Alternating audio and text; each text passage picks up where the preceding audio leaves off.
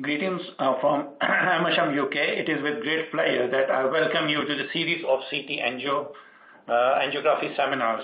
The first seminar is Improving My Daily CT Angiography, and it is about the basics of uh, CT angio. Our speaker today is Professor Christian Loewe. He is the Head of Department of Cardiovascular and Interventional Radiology at the Medical University of Vienna. He also chairs the Educational Committee of European Society of Cardiac Radiology. He is well-published and a member of Editorial Committee of European Radiology. Now, without any further delay, I will hand over to Professor Loewe for his presentation. Over to you, sir. Hello and good morning. Uh, thank you very much. Um, it's really a pleasure for me to be here. Um, today, the webinar is entitled How to Improve My Daily uh, CT Angiography. It's the first uh, part um, of a row of uh, a story in uh, three chapters. Chapter one is it's all about contrast. Chapter two will be less is more, and chapter three will be what becomes possible going into clinical practice. Today, again, it's chapter one, uh, dedicated to uh, to the contrast enhancement. But a little bit just to give you an overview about our roadmap, about the basics in CT angiography. The content for this chapter today will be the basics about contrast enhancement, administration, and scan protocols. Followed by chapter two, which will be in autumn, going more into depth, how to achieve more with less. That meaning with less radiation, less contrast, less artifacts. And finally, um, uh, it will be, I guess, before Christmas, uh, chapter three, going into clinical practice, the clinical examples, clinical protocols, and clinical challenges for different anatomical fields. But let's start with the really very basics with chapter one. It's all about contrast, uh, which is the topic for the module of today. My teaching points uh, of this uh, module uh, will be the following. Basics about contrast enhancement in CT angiography, how to achieve the optimal contrast, and the basic principles about acquisition at CT angiography.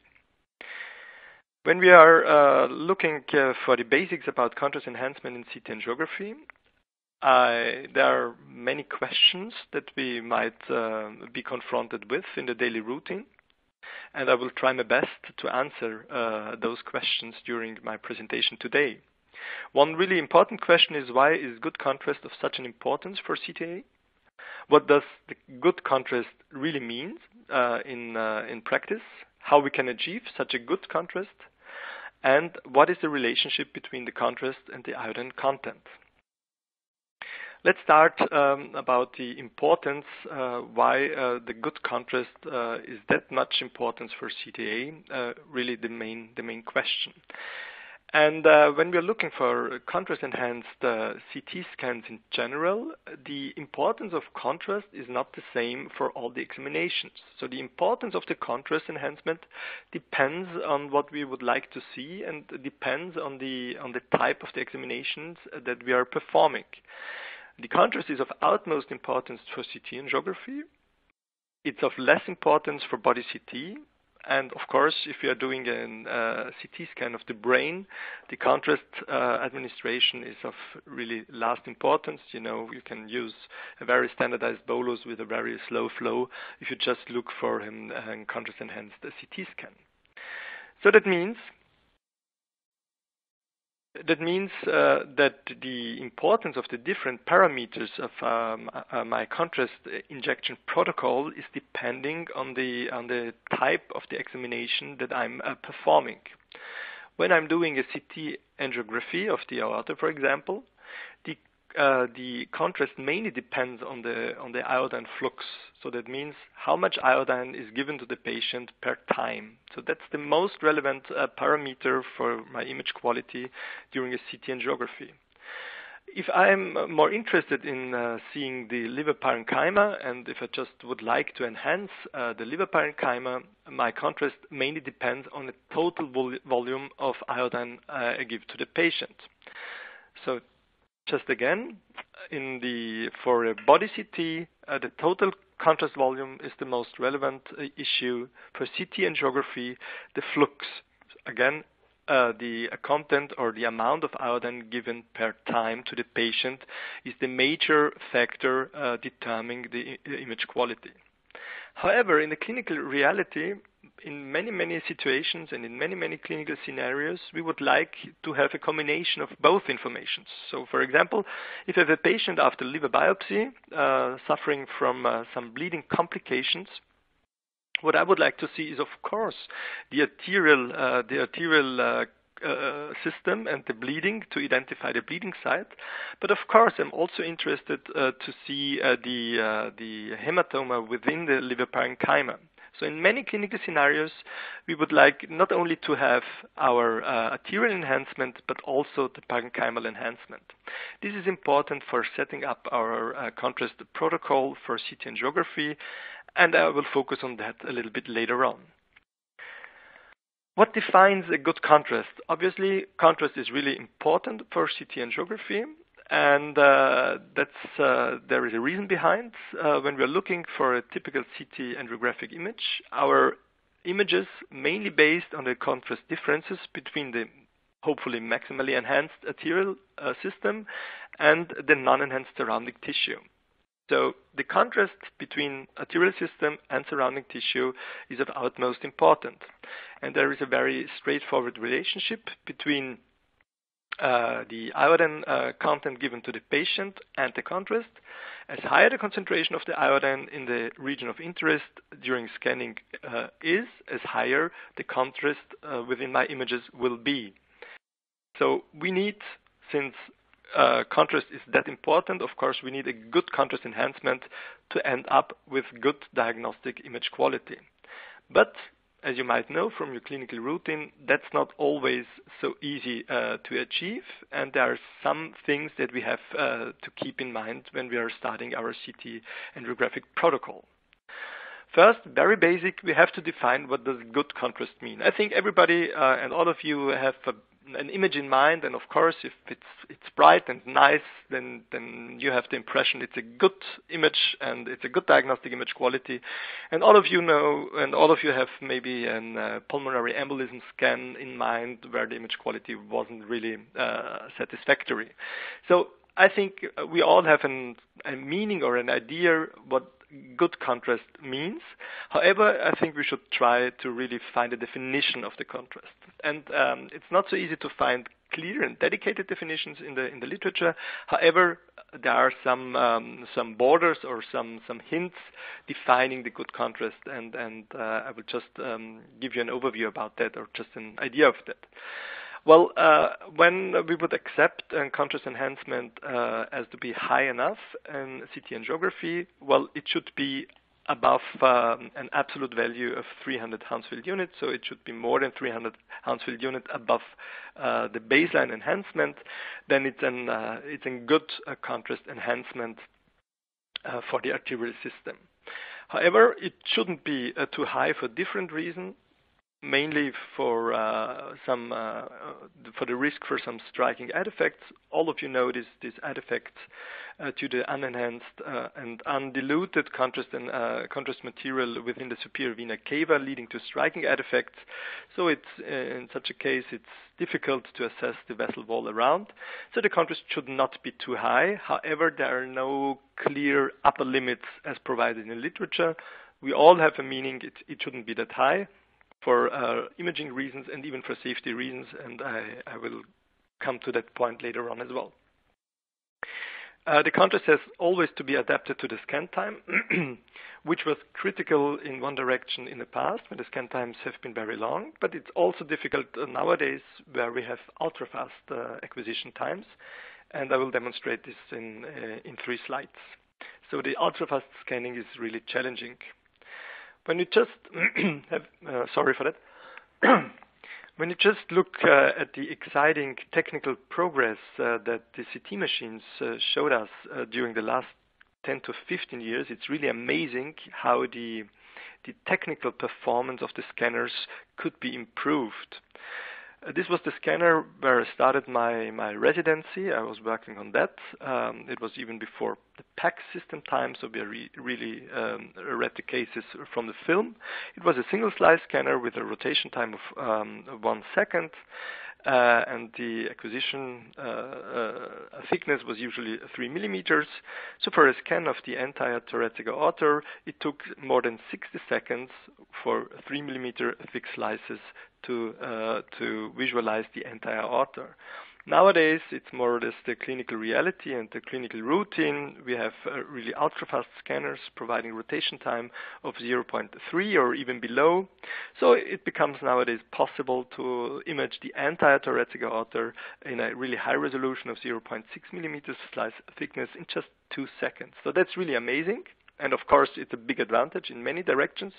However, we should really take care to adapt um, our uh, imaging protocol uh, uh, to this dramatically reduced scan time. And uh, we should always avoid to pass the bolus because we are able to scan faster as the blood, and that means even the contrast is flowing through the patient. Just again, an overview about this uh, exciting technical performance. If you're using really high pitch uh, scan modes, we are uh, even able to, to image the entire thoracic aorta or the entire abdominal aorta um, in less than one second. And this is really challenging to ensure a really uh, sharp, bright bolus uh, just at that time. So there was a complete paradigm shift um, from the past times of uh, single slice era uh, in setting up our CT protocol. Uh, the spatial resolution was always uh, too low. The acquisition times uh, have been too long, uh, and the contrast volume that that we needed in that time was really large, with with severe risks to the patient and it was always the main challenge to ensure a rather good contrast during the very long acquisition time, and sometimes it wasn't possible to to um, to achieve a rather good uh, contrast enhancement during these long acquisition times. Nowadays, everything is different, but the main challenge sounds very similar. Of course, we have ultra-fast rotation times, as shown before. We have really high, even isotropic spatial resolution in very, very short acquisition times. Of course, uh, the uh, the amount of contrast that we need for CT angiographies is much lower, but the main challenge now is to ensure the good contrast during this very very short acquisition time. Sounds similar as the previous problem, but uh, it's completely different, but it's still challenging. Since what we really would like to avoid is something uh, like you can see on this image slide here, on this example. Here, the bolus was really passed, so the scan was faster as the uh, as the blood flow. So rather good enhancement at the aortic arch, but uh, an, uh, really insufficient enhancement um, at the very end of the imaging volume. And the reason for that was that the acquisition time was just uh, too high. So uh, in the clinical routine, it's sometimes uh, it's sometimes really difficult uh, to to ensure that. Um, what we really need is a very sharply defined uh, contrast enhancement, uh, and we should do our best to avoid uh, to pass the bolus or to scan not uh, really at the peak enhancement. And I will uh, show you what the peak enhancement uh, really means in reality in just a couple of slides. This is another example uh, where uh, everything went wrong. As you can see, we have a very strong, very bright contrast enhancement at the aortic arch. So this is much higher than uh, 300 uh, Hounsfield units. Uh, I can also provide you with the uh, direct measurement. So we have an enhancement of 370, so that's uh, that's quite good. Well, that's a, a rather acceptable enhancement at the uh, descending aorta, but when we go down uh, below the diaphragm, as you can see, the enhancement is really uh, going down, and we have more or less a native examination um, at the level of the iliac arteries. And again, the risk was here enough uh, contrast was given to the patient, but uh, the scan was initiated uh, too early and uh, the acquisition time was uh, too short and the bolus was just passed. So a lot of contrast was given to the patient, but it was not, not scanned. Um, this is an example of not scanning at the peak enhancement. So that's, uh, that's the challenge in, in times of ultra-fast scanning. So that means we, we still have uh, some pending questions uh, about the definition of a really good contrast at CTA. We were not, uh, we didn't talk about the uh, iodine concentration that we really need for that. Uh, we didn't talk yet about the um, total amount of, of contrast material that we really need and uh, we didn't talk about which uh, contrast enhancement uh, we really aim to get. Some of the questions uh, I can try my best to answer during this presentation. Some of these uh, questions are still um, uh, under discussions and there are not, not really accepted answers to that. Of course, our approach, uh, if we have clinical questions, is always to look at the internet, to look at the PubMed, and to, to search for, uh, for uh, studies and literature to answer our questions. But as you might know, sometimes it's not that clear, even after uh, looking at the internet and, and reading a, lot, uh, a couple of papers, and I will just give you uh, two or three examples how confusing even the literature uh, search might be, and uh, that, that, this is not really helpful. Again, to the question how we can achieve the good contrast, well, you can find a very interesting paper as published in Radiology 2002.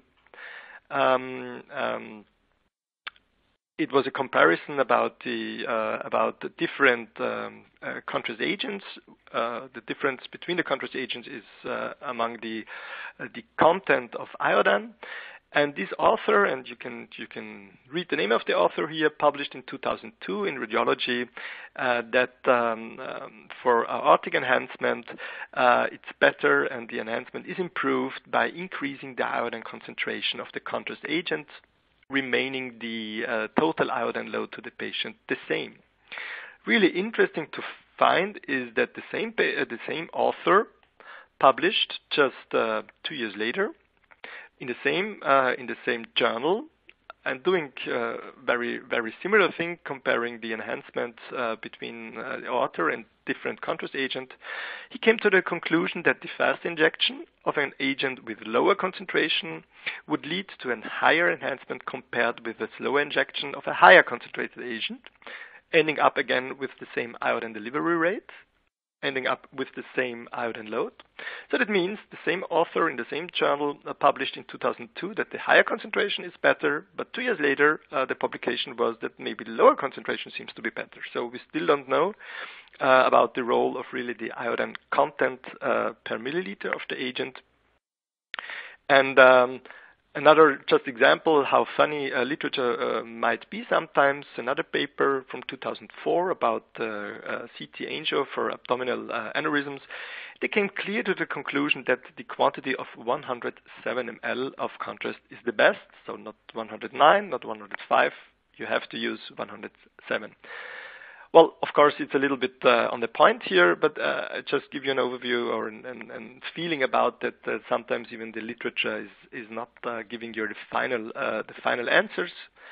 Um, of course, the problem is that uh, especially CT technology is really fantastically there is a fantastic evolution in the CT technology within just very few years. So it's very, very difficult to publish um, papers or studies really on the point. So if you're ready and finished with your study, and if you if you finished writing of your paper and then it was accepted, and then it took another year that it's really published, and maybe the next generation of, of CT scan is already on the market, and your study is a little bit uh, already outdated. So this is one explanation that sometimes uh, the literature is not uh, really helping us. Well, but uh, I think my my goal of this webinar should not be to show you how difficult liter uh, literature search might be and how difficult uh, it is in reality to find a clear evidence for many many uh, practical questions. My aim should be to try my best to give you some ideas or, or tips um, how to improve your daily daily practice and how to set up CT angiographic protocol. Of course, I cannot give you the clear answer what is really true. I'm not wiser as all the the fantastic colleagues uh, uh, which published papers among the, the last uh, 15 years on this topic. I can just try my best to explain you some some backgrounds and maybe to end up with uh, some very practical and clinical um, recommendations. to answer the questions about how much contrast do we really need and uh, how much, uh, how high the iodine delivery rate should be, and uh, all these other questions, maybe it could be helpful to really uh, go a step back, um, really back to the basics of the mechanisms of contrast enhancement at CTA. And uh, if you look at the basics for contrast enhancement at CTA, there are some very, very basic uh, principles uh, regarding the physiological and pharmacological principles, about the influence of the different injection parameters, about the role of iodine concentration, content, volume, and delivery. And of course, there is a patient in between, so even the, the circulation plays an important role. So just to, to look very basically to the physiological and pharmacological principles, let's see what happened within the patient when we give a contrast to the patient. And just to simplify that, uh, not using a big bolus, let's start with just injection of a test bolus, 60 ml of contrast given at a flow rate of 4 ml per second. And uh, the enhancement response in your region of interest will be something like that. So we will have a really fast increase to a peak enhancement, and right after uh, arriving to the peak enhancement, there will be a decrease of the enhancement, and uh, at the final end, you will have some kind of plateau enhancement, but on a very, very low level of enhancement. So this is definitely not uh, not uh, sufficient for an uh, contrast enhanced CT angiography. The explanation for this uh, for this course of enhancement within the region of interest is that the uh, the the first part is um, defined by the first pass, so that's really the arterial pass through of the contrast, and the second uh, phase is the so-called uh, recirculation phase. So since the contrast uh, is an extracellular contrast, it's immediately leaving the uh, arterial system after the first pass. But as soon as the contrast is entering the extracellular space, there is some kind of recirculation into the arterial lumen, and this is defining this second, uh, rather low plateau phase enhancement. So that's the very basic uh, um, enhancement response within the patient after giving a contrast to the patient. What happened uh, if we are just uh, increasing the total volume, the total amount of uh, iodine to the patient? Well, the enhancement response is very much similar. It's uh, on a higher level since there is direct relationship between the iodine given to the patient and the enhancement, but the general characterism of uh, the enhancement response remain the same. So we have a fast increase up to the peak enhancement due to the arterial first pass, then we have a decrease, and then we have this plateau phase. So that means uh, within the patient, uh, if we have a rather long acquisition time and a rather long volume, the enhancement response uh, or the enhancement would be something like that, very inhomogeneous, and maybe at the end of the examination, the enhancement within the arterial system will getting a little bit down. So the answer is an uh, inhomogeneous uh, enhancement. So if we inject more to the patient, uh, the answer is an inhomogeneous um, enhancement. This can be explained by just um, dividing the total bolus given to the patient into a sum of uh, uh, of uh, single test bolus, and then we can explain this enhancement response. So we start with the first fraction of the bolus, and then the second, and the third, and the and further on. So that means the enhancement response, sorry, this was too quick. The enhancement response is just some kind of uh, summary effect uh, of the responses here. Everything is moved on a higher plateau, on a higher level of enhancement, but the main characteristics of the enhancement re- uh, remain the same. This has been shown by some colleagues. Uh, they used to work in my department uh, 15 years ago, and this showed that uh, if they're really measuring uh, among the uh, examination volume the uh, contrast enhancement, uh, that the enhancement response is an inhomogeneous one, as we have seen before. What we can do uh, to transform this inhomogeneous enhancement into a more homogeneous enhancement is to um, use a biphasic contrast injection starting uh, with the first third of the total bolus with a higher flow rate and going down for the second two-third of the contrast injection to a lower um, to a lower flow rate. We will end up with a summary effect uh, even here, but we will end up in the second phase by a summary of the lower peak enhancement of the second phase and the recirculation of the first phase, and the enhancement response will be a much more homogeneous one, uh, as we have seen before. So we are approaching a little bit more the ideal uh, enhancement that we have a very st- a stable enhancement on the plateau phase. This has been shown by uh, my colleagues as well. So uh, if they compared with a biphasic injection, as I demonstrated to you before, and the uh, enhancement response within the patient was this very, very homogeneous enhancement among the entire uh, volume and the entire scan time. So using a biphasic bolus means uh, that uh, we will end up with a more homogeneous uh, enhancement, which is especially true for very long acquisition time. So that means if you would like to um, uh, investigate the entire aorta or the the, um, the lower leg arteries, then the biphasic bolus is highly recommended.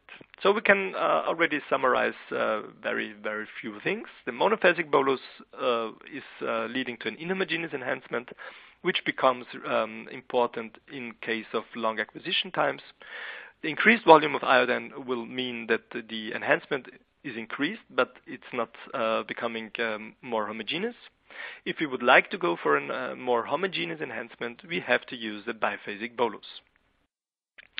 What is the role of the uh, iodine uh, delivery rate uh, or the iodine flux? So that means the role of the amount of iodine given uh, to the patient per second.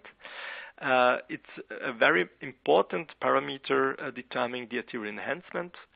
Uh, as I showed you before, the total iodine volume is not that important uh, for CTA for the initial enhancement.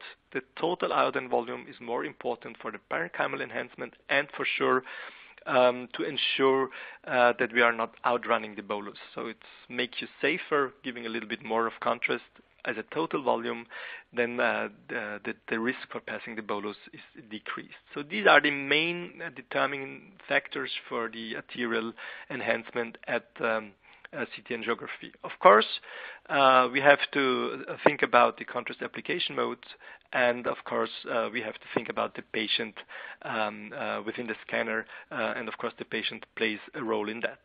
But let's start with the role of the iodine volume and the iodine delivery rate. Well, there is a very clear and very easy, very straightforward relationship between the iodine and the contrast. As more iodine, as higher the contrast will be. So it's very easy. If you're increasing the iodine, you will have an, end up with a higher contrast. Um, it has been shown in a very and demonstrated in a very, very educational paper as published in the Radiology Clinics of North America 2010 uh, with uh, even phantom measurements as more iodine, as higher the enhancement will be, as uh, higher the contrast flow rate will be, uh, as higher the aortic enhancement uh, will be at the final end. So a very straightforward direct relationship. As more we give per time, as higher the enhancement will be within the patient. So this can also be demonstrated by this uh, by this scheme of a test bolus. If we are just doubling our uh, iodine delivery rate by uh, doubling the uh, the flow rate from moving from 4 ml per second to 8 ml per second, that means the iodine flux or the iodine delivery rate is doubled. The enhancement will remain the same from the character, but will just be doubled. So if you give uh, the double amount of contrast per time, the enhancement in your arterial system will be doubled. Uh, well, what we know or what we learned during this uh, 25 minutes right now, the quality of CTA depends on the contrast enhancement. We need a very sharply defined enhancement, especially in ultra-fast uh, CTA, as more iodine, as more contrast. Um, and what uh, I would really like to point out, and uh, I will train with you a little bit, is uh, we cannot uh, decrease uh, our uh, total volume um, given to the patient similar to the acquisition time. You might remember that in the past there was the rule of thumb, you have to inject always as long as you scan. Well, this is not true nowadays in one second acquisitions.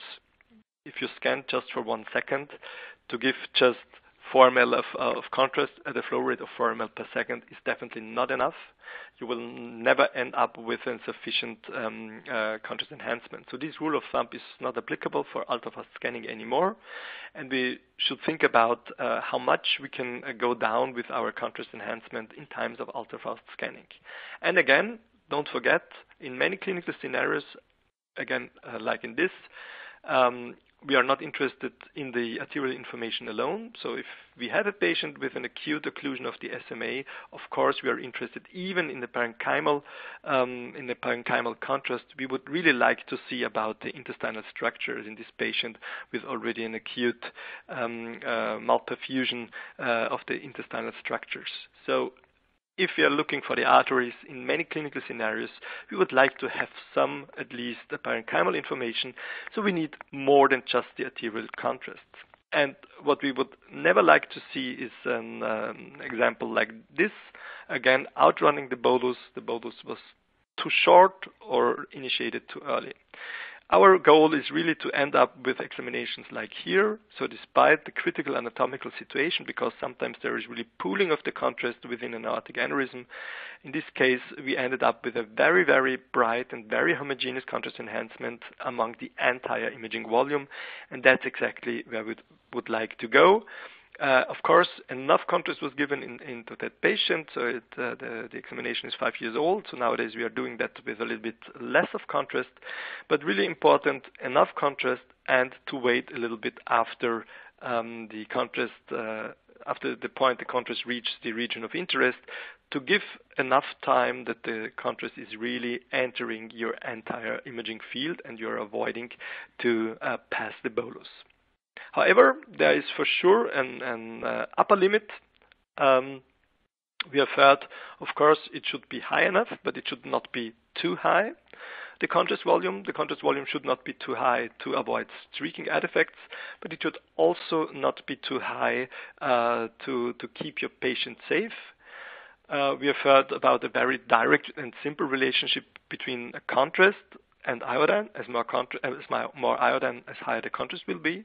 And we have the very similar, very straightforward, direct relationship between iodine and risk of CIN, of contrast-induced nephropathy. So as higher the total amount of contrast we give to the patient, as higher the risk for CIN is. There's a direct relationship.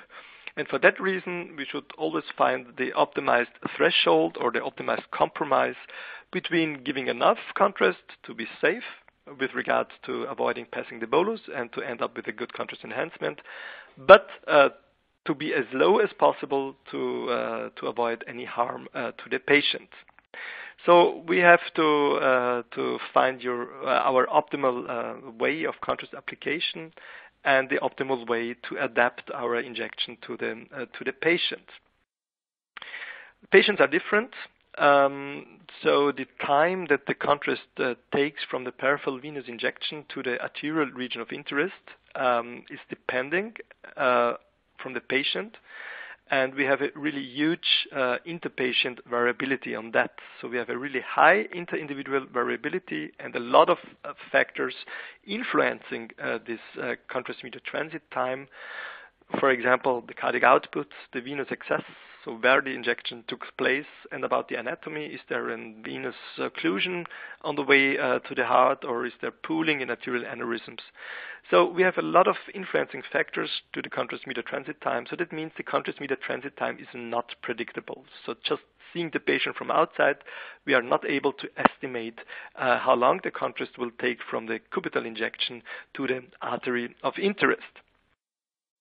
That's why uh, the so-called fixed delays or best guess technique has been used in times of uh, single slice uh, scanning are not applicable, uh, applicable anymore. They are not acceptable because there would be a too high risk to uh, to mistiming the bolus or to outrunning the bolus uh, with uh, these fixed delays. So we have to do an adaptation uh, to the uh, individual patient either by using a test bolus or what all the machines nowadays is, uh, are offering by using a bolus triggering uh, technique. Uh, this is a very straightforward, very safe technique, and again, it's provided by almost all um, the manufacturers. And by doing a good bolus triggering, you might end up with very bright and very sharp and very homogeneous um, contrast enhancement, even during a long uh, imaging volume. Uh, as I mentioned before, uh, what is really recommended and really helpful uh, by using a, a uh, bolus triggering sequence is to wait a couple of seconds after the uh, contrast arrival was detected by the bolus triggering. So what we are doing is uh, usually to have an uh, 8 second uh, delay um, after threshold, so 8 second post threshold delay, and this is ending up uh, with uh, really very safe results. So with that, you're really safe and you will never outrun your bolus. And then uh, the calculation of the total amount of uh, contrast or of your contrast injection time is very easy because it's acquisition time plus this 8 seconds of uh, post-threshold delay time, and this uh, gives you the total time that you have to inject the contrast to the patient. Of course, is the appropriate uh, placement of the uh, region of interest for the bolus triggering uh, really crucial. So maybe you have to train your your stuff depending on the clinical scenarios. There is an old discussion: should we use the ascending aorta or the descending aorta? Well, I think there is no clear clue. There are arguments for both, uh, and uh, the final end it depends really on the clinical uh, scenario, and you need really uh, very trained staff uh, to be really aware, even to detect if something is wrong and to to initiate the scan manually. So this is an example of a rather appropriate but even risky uh, placement in the case of aortic dissection, but they were able to place the ROI really in the in the in the true lumen, so the final result was rather good with a good enhancement. Uh, this is another example uh, where it, it wasn't as good. So in that case, it would have been better to place the ROI in the ascending aorta for sure, because the ascending aorta is post-operatively here and nicely depicted. So in this uh, case, uh, place the ROI in the in the false lumen channel in the, of aortic dissection. So the initia- initiation of the scan was uh, too late. You can see you have a bright enhancement here at the false lumen, but you have an insufficient enhancement at the true lumen. And uh, in such a case, maybe you are not happy uh, with the demonstration and visualization of uh, the aortic side branches.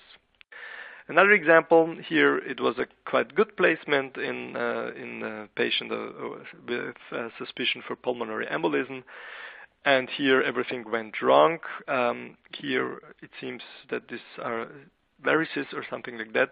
So this was mistaken as the aorta, but of course the aorta is here. So if the ROI is uh, not properly placed, then you can do a perfect use, you can use a perfect CTA protocol, but you will end up with insufficient um, results for sure. So the, the appropriate placement of the ROI and to watch during the, the, the um, monitoring uh, scans is really mandatory to ensure that everything is going in the right direction.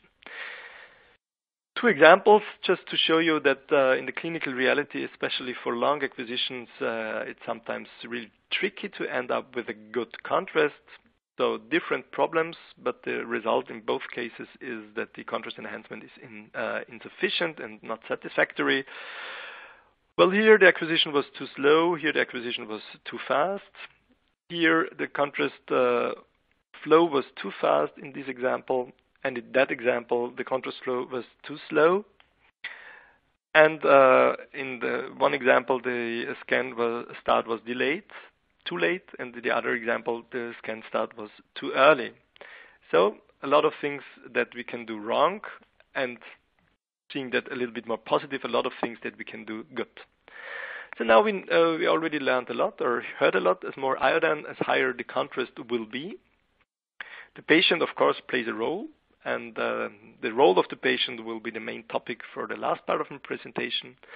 Too fast is, of course, uh, fantastic if you have a car, and of course, it's uh, fantastic even at CT scanning in in some uh, in some ideas. But it's not always uh, perfect uh, if you are too fast and too much uh, with regard to the total amount of volume is sometimes even dangerous to the patient, and we should keep that in mind when we are setting up our protocols. But still, not everything has been answered. How much contrast we should really give to the patient, and how to set up the protocol. And what about radiation? Uh, those answers are not yet answered. Uh, especially the radiation will be the main topic for the next, uh, for the second module. But I, I have to provide you with uh, some ideas on that because radiation dose reduction uh, plays an important role in setting up uh, your CTA protocol nowadays. I think I, was able already to show you that uh, defining the optimized contrast protocol is not so easy just to say, well, adjust high, because we have learned uh, as higher the iodine, as higher the volume, as higher the contrast will be, uh, or as higher the flow, as higher the, uh, uh, contrast will be. It's not as easy. We have to adapt our protocol to the patient's needs, depending on the clinical scenario and mainly uh, on the on the actual situation of the patient. And uh, when we start with the first question, how much contrast we should really give to the patient, of course, we should look at the patient uh, and we should look at the scan parameters. Uh, there are key patient-related factors, including the body size, which is the most important factor, uh, and the cardiac output, which is not as important and usually not as much influencing your protocol. And of course, there are uh, additional uh, less important patient-related factors, including the age, the gender, uh, the venous access, and uh, the renal and hepatic factors function. But of course, in the clinical uh, routine, it's not possible to uh, to keep an eye on all these factors and setting up a protocol individually, taking into account all these different influencing factors. We should try to, to set up a straightforward uh, and practical uh, protocol uh, for the clinical routine. Very much important, uh, especially in CTA, is the fact that uh, by reducing the KVP settings, the attenuation of iodine is increasing. And since we have learned that the iodine uh, attenuation is of utmost importance for the quality at uh, nowadays CTA protocols, Obviously, uh, the, the KV uh, settings uh, are an, really influencing factors. By reducing the KV settings, we can either reduce uh, the uh, total amount of uh, iodine given to the patient to end up with the same arterial contrast enhancement, or uh, we can um, we can just um, uh, give the same amount of contrast and ending up with a higher uh, contrast enhancement within the patient. And there are clear relationships again well, you can. Uh, there is a range at the level of 120 kV that uh, for every milligram uh, per milliliter contrast you give to the patient, the enhancement will be about 25 to 30 Hounsfield units. But if you go down to 80 kV, it will be 40 Hounsfield units. Just to give you an idea um, how much contrast you can save to end up with the same contrast enhancement when you're using low kV protocols. This has been uh, demonstrated nicely even in this uh, in this review article uh, already uh, addressed here. So if you're um, if you're changing the KV settings, but all the other, um, or if you if you uh, uh, change the body weight in, in, this example in a patient with the same size, and you give the same contrast injection, the enhancement response will be different within the patient so as lower the body weight, as higher the contrast will be, remaining the contrast uh, amount uh, uh, uh, stable. And the same is true for the cardiac output. As lower the cardiac output, as higher the contrast will be, but delayed. And maybe you know, especially for a pulmonary embolism scan in a, in a, in a young female patient coming in with a heart rate of 120, uh, it's very difficult to, to catch the bolus because uh, the, the, the, the uh, cardiac output is that high that you would really need a high amount of contrast to be safe. So patients are really different. Um, and that's why we have to uh, individualize our uh, injection protocol to take into account the differences uh, of uh, size and shape of the patients. So we have heard about a lot of different influencing factors, and of course the question is how to bring all these uh, things together and where to start uh, setting up your protocol. And um, in the final part, I will just give you some examples how to do that for CT angiography. Well, uh, just uh, to start easy is to start with a so-called normal program. So just take uh, a normal scan that, that you're currently using. Here, for example, a normal patient body mass index of 20. In the past, uh, the standardized protocol was to use the 120 kV scan. And since for the peripheral arteries, long volume, uh, we usually use this biphasic bolus. So this was our standardized protocol ending up with uh, very, very good results, but uh, as you can see, very, very bright enhancement. So maybe the enhancement was a little bit too much. And uh, of course, thanks to the 120 kV, even the dose length product um, uh, was uh, too much. And again, we have to adapt uh, that to the needs of our patient, and we have to react on the differences of the patient. If we have a patient uh, like the small one, there is definitely the risk of too high radiation dose and of too much iodine really of an iodine overload if we go further with this standardized protocol. In the other guy, of course, uh, there's the risk of low contrast and uh, high background no noise if we don't change anything within our protocol. So again, we have to we have to react um, and we have to adapt the volume. We have to adapt uh, or to, to think about the iodine concentration and the iodine delivery rate. And of course, the timing I showed you before is an uh, important factor. What we are doing is, again, uh, to uh, remain things straightforward and simple, we defined four different body mass categories, and we are defining our imaging protocol among them.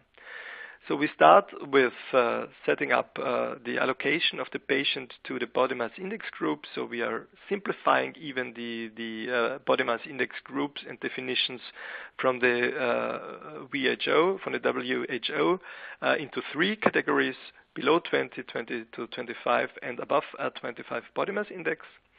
Uh, after that step, uh, the patient is directly allocated to a kV setting group.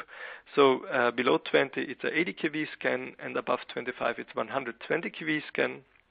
And after defining, uh, defining uh, these kV settings, uh, we can define our uh, uh, contrast protocol, starting from the from the uh, standard protocol I showed you before, and then reducing the total amount, since we have heard that the attenuation is much higher at lower kV settings.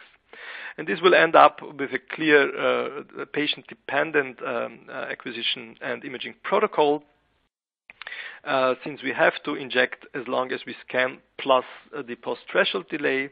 Uh, it's a little bit different for the peripheral CT angiography uh, since the contrast really took a little bit longer to enter uh, the forefoot arteries so we can reduce the speed and reduce the uh, injection time. But this would be our standardized biphasic protocol for the peripheral arteries. Again, how to achieve this protocol or how to go there, again, starting with the normal protocol, the normal program, as I showed you before, 120 kV scan. And then depending on the patient situation, uh, for a thin patient with a body mass index 20, you have to go down to 80, and therefore you have to reduce the total volume and, of course, the injection flow rate. And then you will end up with fantastic uh, imaging results bright enhancement, homogeneous enhancement, and a very low radiation dose. And as compared to the example I showed you before, that's just a third of the dose that we have had before. Another example, a body mass index of 20, 80 kV protocol, really nice images, no severe uh, background noise, and a rather low radiation dose. Um, and uh, of course, we have to adapt our protocols uh, to the uh, to the uh, acquisition time and the total scan time. And uh, by doing that, of course, we can use this approach for all the other anatomical areas within the body as well. So, just an example for a scan of the entire aorta.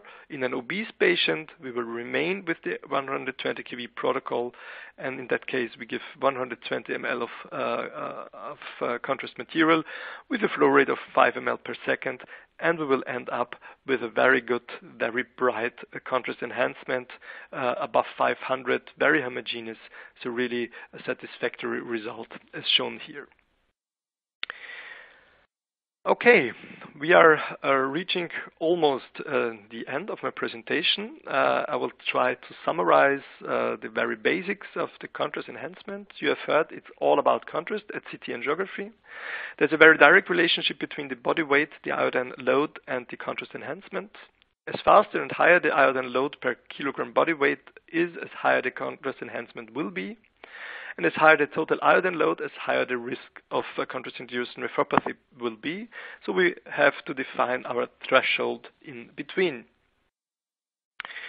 There is an injection time should be adapted to the acquisition time, but it should not be too short.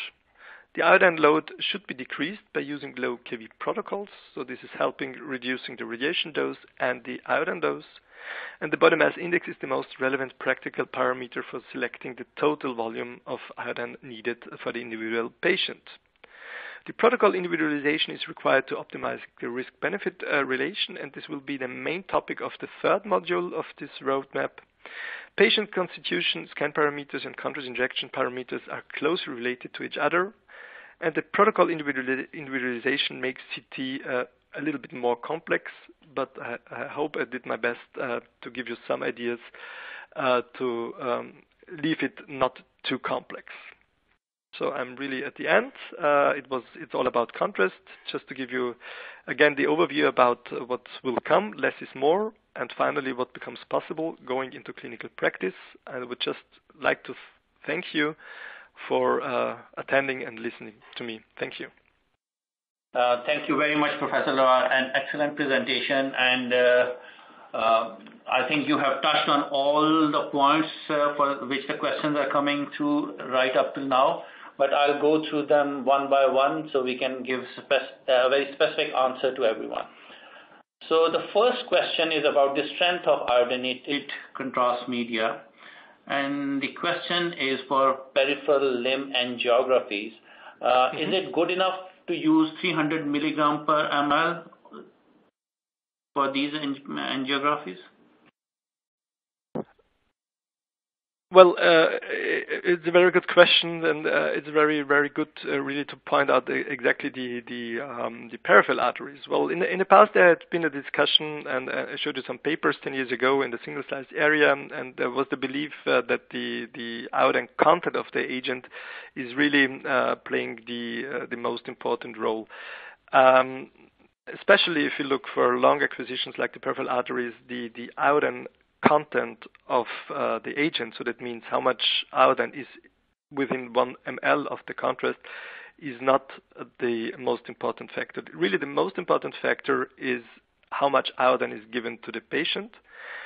And it doesn't make any any severe difference from the image quality if you're injecting uh, 270 with a higher flow rate as compared to 320 with a slower flow rate, or if you're injecting 400 with a much much lower flow rate. So uh, to go uh, with your standardized 320 concentration is uh, is just good you have just to adapt your your um, uh, injection speed to end up with the iodine delivery rate that you would like to end up with, and uh, never be scared about the flow rate.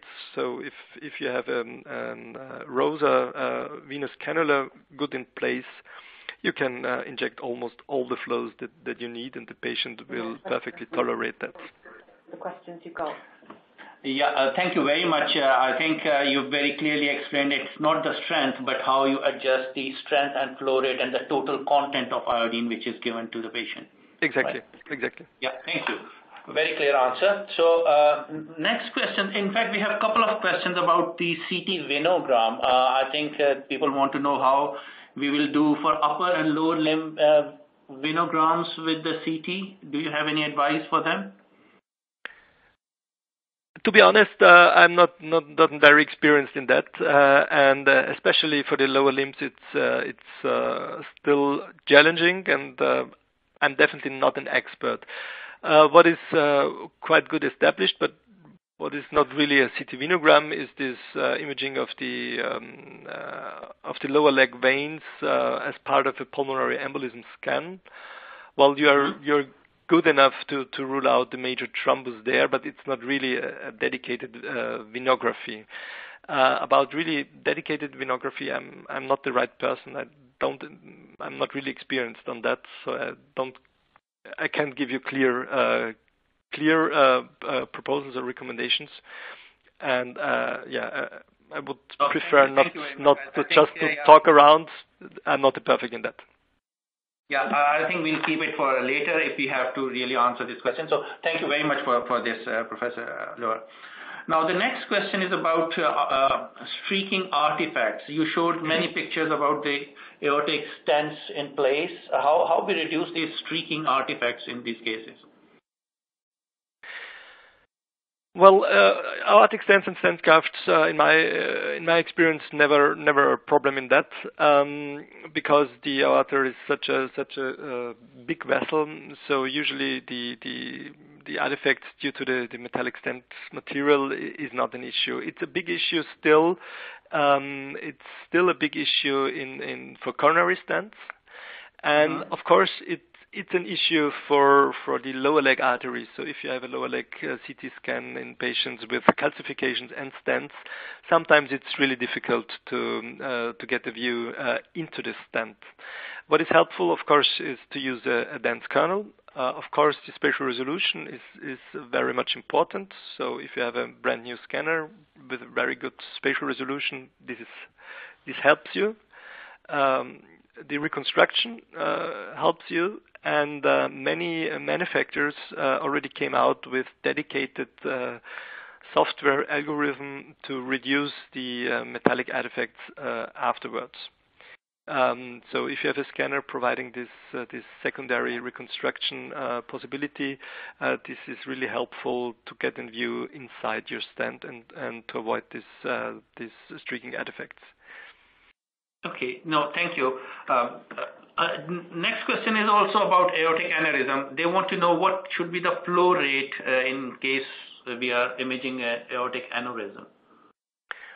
Well, just as a really very uh, raw uh, rule of thumb, the flow rate should be always around 5 ml per second, very roughly. Again, it depends on the kV settings that you are using. So if if you have an 80 kV set uh, scan, of course the flow rate uh, can go down, as I've shown you before. Um, and of course, it's depending a little bit on the on the uh, iodine concentration that you're using. If you're using 270, for example, maybe you have to go up to six. But just as a just for an orientation and as a rule of thumb, the flow rate should be uh, around 5 ml per second for a standard patient. Okay, great. Uh, very clear. Um, so it's 5 ml per second, but they need to adjust it as, as an uh, the strength of the contrast media. Now, next question is about maximum density of contrast media in CT angios. Mm -hmm.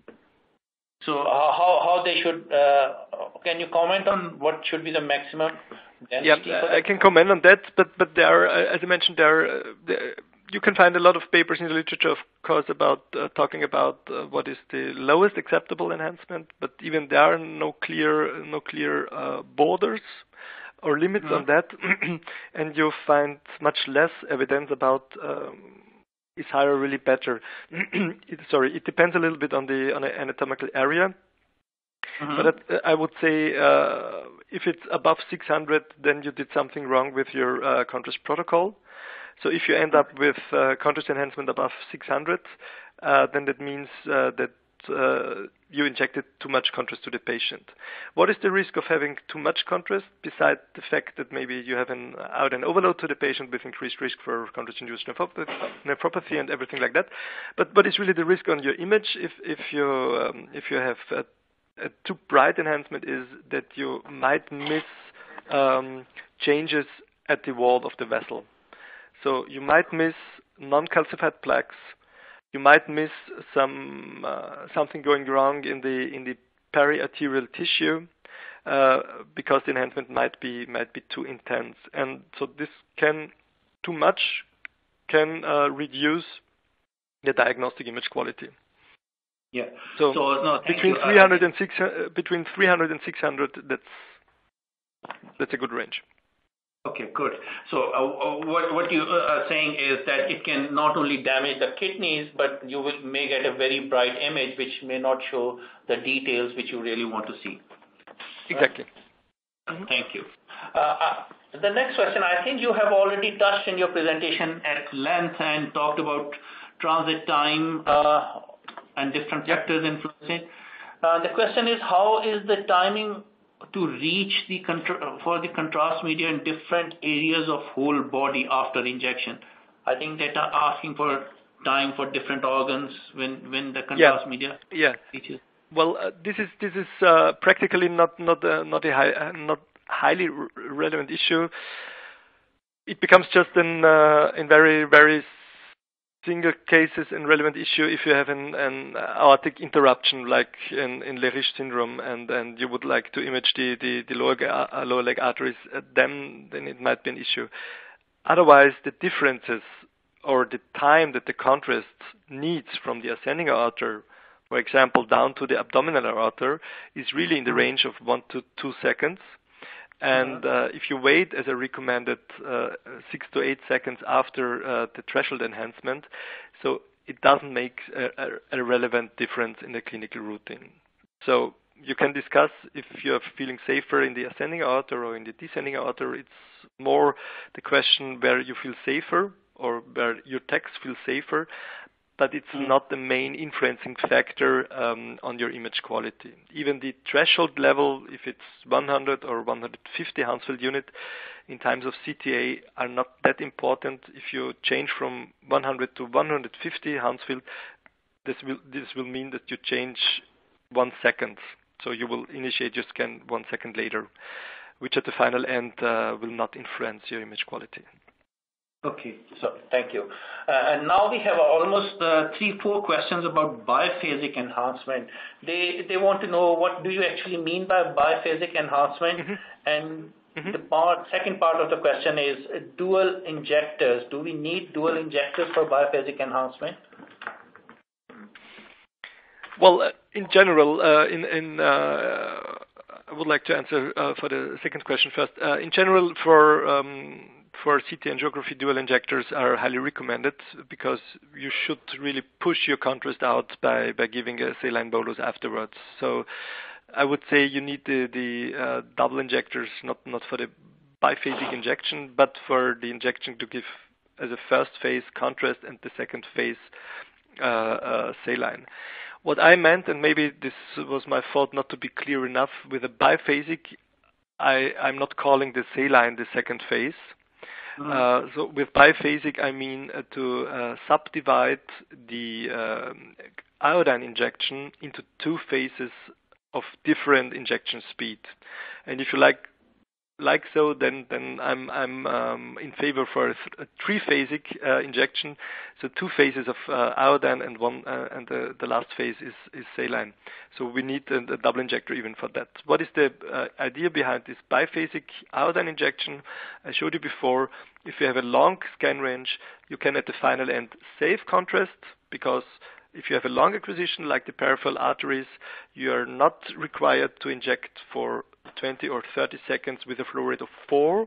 This would mean you would end up with 120 ml of contrast because we know that the, the, the last amount of contrast you give to the patient will never enter uh, your artery of interest while you're scanning. So it, it would be wasted contrast. And we know that especially for the peripherals, the, the blood flow is slower so that's mm-hmm. why uh, it has been proven that especially for the peripherals, it, it's very good to reduce uh, the uh, the injection speed for the second part of your injection, um, and that's what we are calling the biphasic injection. So this was so, meant yeah, thank biphasic. You. It's a very clear answer. So the contrast media is divided into two boluses. The second is slightly yep. slower, and then followed by a saline injection. Yeah. Okay. Exactly. Thank you. Yep. Now, Next question is about bolus tracking, and they want to know if we are doing an ECG-gated aortic angio, how, what should be the Hounsfield uh, value for a bolus tracking? Uh, you know, the same the, is true. strength, of, yeah. strength of signal from uh, from a bolus uh, for tracking. What should be the HU value for that?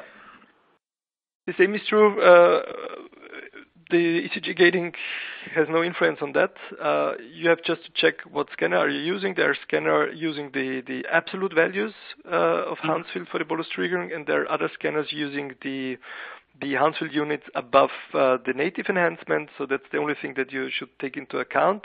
And the thresholds should be somewhere between 100 and 150. It doesn't make a difference in ECG gating, as I mentioned before.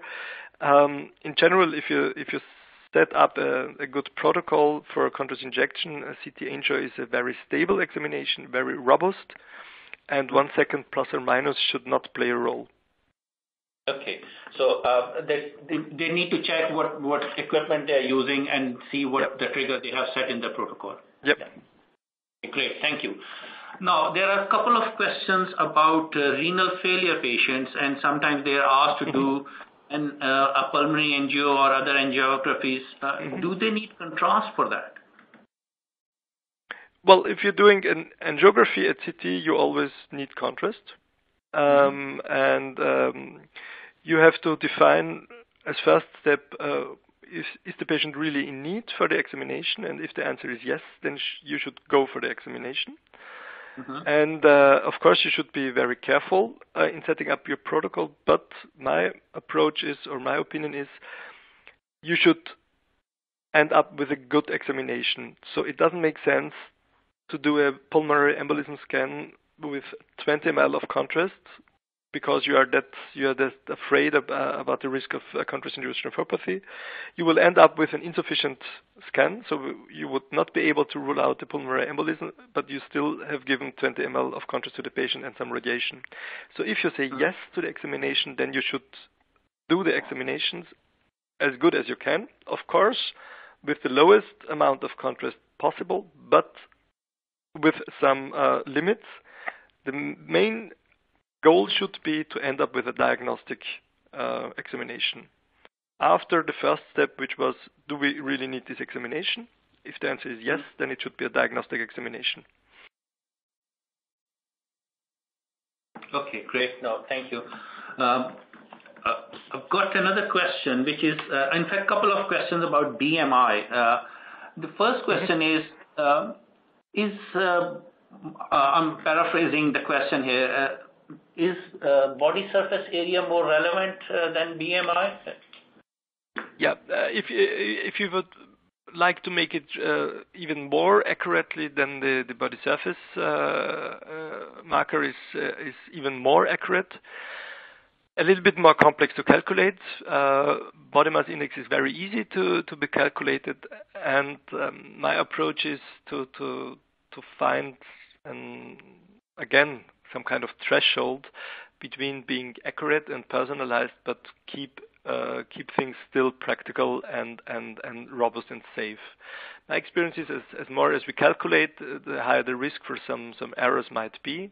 Body mass mm-hmm. index is very, very simple, and with some routine, I think you can you see the patient and you can you can assign the patient to a body mass index group, uh, and you will be uh, uh, accurate in most of the cases. Of course, you will calculate it. It's very easy, straightforward. And uh, it has been shown that there is quite good evidence that the body mass index is good enough as an indicator. More accurate yeah, okay. would be body surface area, but but it works out with body mass index as well. So the message is keep it simple. But I have another question on yep. the same line. They, they're saying uh, for cardiac uh, uh, CCTA or some cardiac imaging, do they also need to consider the diameter of the thorax at the base of the heart? Is is this correct that we need to consider that? I'm not doing that uh, in a in a in a clear fashion, but of course, you know, um, uh, I propose the different body mass indexes and, the influence on the on the KV settings uh, they should have. Um, and for the middle group, um, it was written 100 to 120 kV, and that's exactly um, the situation. When we got the feeling that uh, the diameter at the at the base of the heart is is high, then we are going even in the middle BMI group for 100 120 protocol because especially at the baseline, uh, uh, basis of the heart, um, uh, background noise uh, could be really deteriorating the, the image quality. So we are not definitely measuring by really measuring, but but we are assessing visually. And if we got the impression, well, there's a huge diameter, then we are going for 120 even in the middle group. Yeah. So it's not a very hard and fast rule. You you make an assessment by visual and uh, yep. adjust for that. Great. No, thank you. Very clear answer once more. Uh, now coming to uh, about the dual energy CT, I think they mean, uh, do you recommend a dual energy for reducing contrast volume and radiation dose?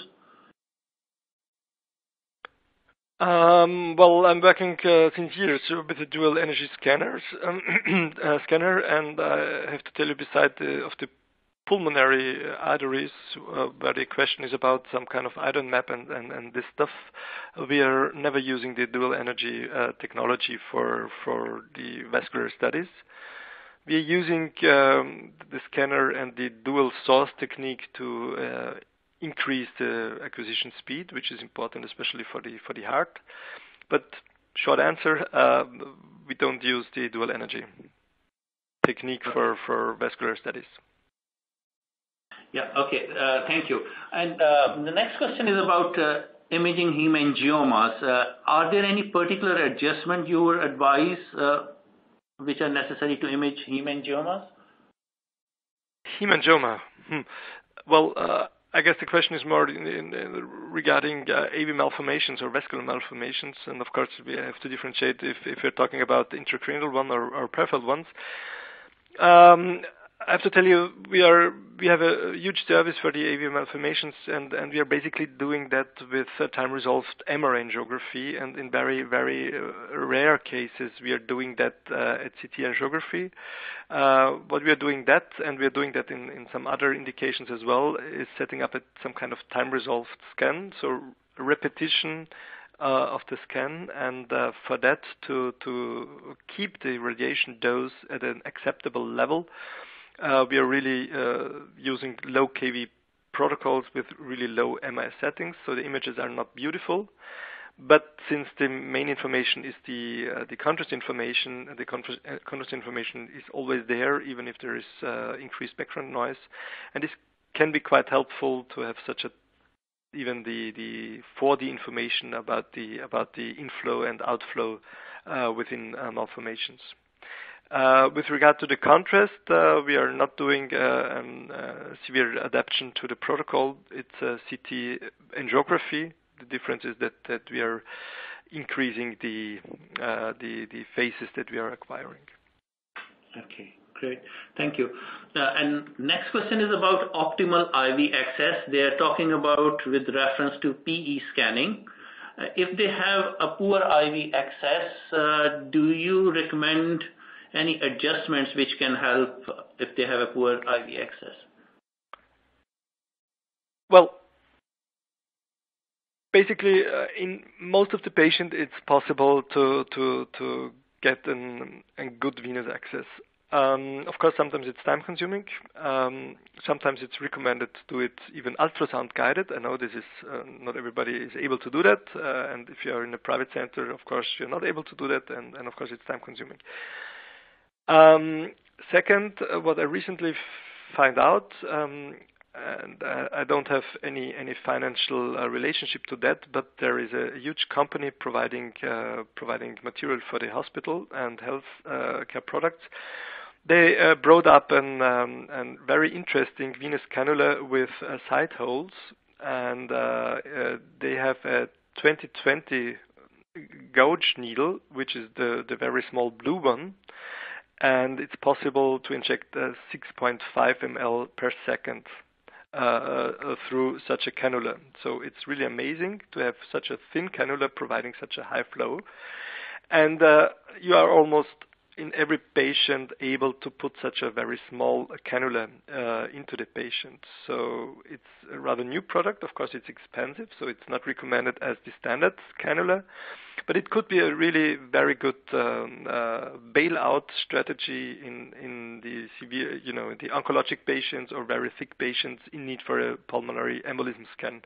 It would be much better to really invest your time by optimizing the venous access as to reduce uh, the amount of uh, out and delivery rate. But we have to differentiate. If you have an oncologic patient, um, usually you can really go down to 80, or if your scanner is uh, able to do down to 70 kV, and then the result might be good even with a flow rate of 2.5. If the problem mm-hmm. of the veins is more uh, because the patient is very obese, then of course, um, before you do a PE scan with a flow rate of 2, it's better not to do the scan because you will not be able uh, to rule out a segmental pulmonary embolism. But I really um, found this, this new cannula as a very good bailout in, uh, for, this, uh, for these patients. Yeah. Okay, great. No, thank you. A related question is, if they have a uh, central line in place, can they use yep. that? Yeah. Okay. So great. Simple answer. so we have a couple of questions about different procedures now about how to reduce artifacts. The first one is how to avoid subclavian vein artifact in carotid angios. What will be the flow rate and scan time for a normal patient? Well, there, there. Mm, I think that's that's a very very good question, and it's really a challenging problem, and there is no no easy answer to that, and no clear answer to that. Um, first of all, of course, it's it's better to use uh, the the uh, access from the right side, except patients where the question is really dedicated to the to the right subclavian artery or to the right common carotid artery. Second is to really invest a lot of time to really optimize your uh, contrast administration.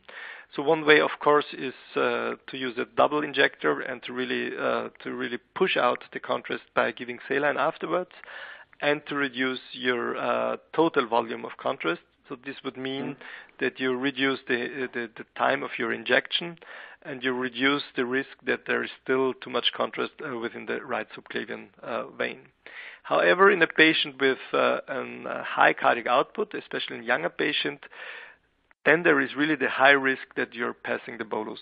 If you have an, mm-hmm. an elderly patient with a, a, mm-hmm. slower cardiac output, then you can really reduce the total volume of contrast down to 50 or even even even below, uh, using a saline uh, saline chaser afterwards, and then then usually you can avoid this uh, these effects due to the overlaying uh, venous structures. So push it with saline so that it clears the subclavian artery. Yeah. So a similar question is about reducing the artifact from superior vena cava in pulmonary angios and aortogram. So are there similar principles? Pardon me? Sorry. Pardon me? So a, a very similar question is reducing the artifact for SVC in yeah, pulmonary angios and aortograms. So it's the same. It's the same, same. basically. But again, the really tricky, especially the PE patients, they have tachycardia, so they have a really increased cardiac output. We all know mm-hmm. that, especially in young patients, the enhancement might be insufficient. So if you if you reduce your contrast volume, there's a high risk that you're passing your bolus. So in such a situation, I would prefer to have streaking artifacts in the superior vena cava, but uh, good enhancement in the uh, pulmonary arteries. So again, a so related it would not reduce the volume. Yeah, uh, uh, how much saline should we uh, use after pushing a contrast, and should we give saline before we give the contrast media? Well, the, the saline before is is helpful just to check uh, the line and the quality of the line, but it's not it's not okay. mandatory to give saline beforehand. Afterwards, usually we are giving in in, in grown-ups um, with uh, no severe cardiac problems. We are go- giving 40 ml of saline uh, with the same uh, injection speed as the second phase of the contrast injection. Okay, great. Now, next question is, what is your recommendation on performing a triple rule-out angiography? My recommendation is not to do that. and uh, that's, uh, that's also the recommendation in the guidelines. It's still not a recommended examination. Uh, my experience is it's better to, to focus either on the pulmonary arteries or on the coronaries. If you like to have both, uh, it can be really tricky and difficult, especially in the emergency situation. Okay. We are almost there, so this is the last question. Is there any role of contrast in identifying in-stent thrombosis?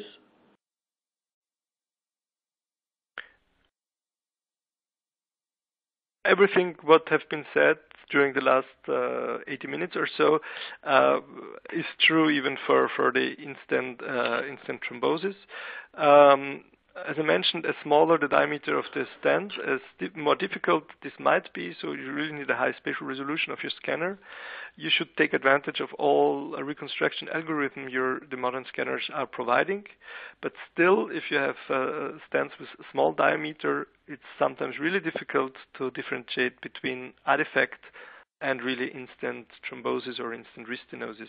But there is nothing you can improve just by, by improving your contrast administration. You need an optimal contrast administration as for all the CT angiographic protocols, but nothing special you can do with the contrast uh, in such a scenario. Um, thank you very much, Professor Loewe, for an excellent presentation and then going through all the questions in such a detailed and very clear answers. So thank you very much uh, for your presentation today. Uh, before we close the call, I would really like to remind everyone that there is a short survey after this uh, uh, session, so please do fill in. It will take less than 30 seconds, I'm told. So, With this, I would like to thank all the participants, and thank you very much for your time. And Once again, thank you very much, Professor Loewe. And With this, we will close the call. Thank you. Take care. Have a good day. Bye. Thank you. Bye-bye.